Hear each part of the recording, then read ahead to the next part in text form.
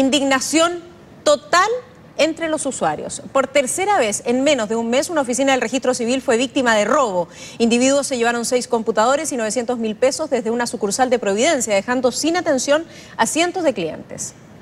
Que estar solo la pareja de novios y los testigos.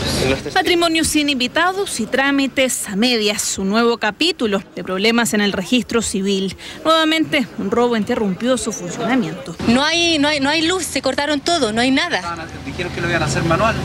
Pero es que todavía no, porque están tomando huellas arriba, están todos carabineros y no se puede abrir. Primero fue Estación Central, después Ñuñoa, ahora la sede de la comuna de Providencia que recibe diariamente a 200 personas. Mañana ocho y media. Sí. ¿Cómo es la, la afluencia de la gente? ¿Es un lío como todos los registros civiles o hay menos acá? Ya es como que si fuera chiste. Tengo que dirigirme a huérfano porque resulta de que no hay defunción acá. A las 7.50 horas aproximadamente, cuando llega el oficial civil a cargo de esta oficina, puede darse cuenta que la puerta de acceso se encontraba deserrajada. El sistema de alarmas no fue suficiente. En la madrugada de este lunes se llevaron seis computadores y una caja fuerte con 900 mil pesos. ¿Está fallando ese sistema?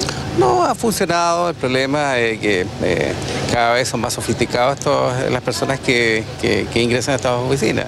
La seguridad es un tema pendiente para el registro civil. El director metropolitano asume que no están funcionando en las mejores condiciones. No son los lugares aptos en estos tiempos. Quizás estamos un poquito desfasados en ese, en ese sentido, digamos, en relación a la calidad de la atención que tenemos. Aunque parezca insólito, en algunas sedes no hay cámaras de seguridad y la mayoría funciona en una infraestructura precaria. Si bien no es obligación, los municipios se encargan de proporcionar gratuitamente los espacios físicos. Sin duda que es insuficiente. Aquí se hace necesario que el registro civil y el Ministerio de Justicia asuman su tarea respecto de este déficit de infraestructura. El registro civil de Providencia podría retomar todas sus funciones durante este martes, eso siempre y cuando se restablezcan los seis computadores robados pueblo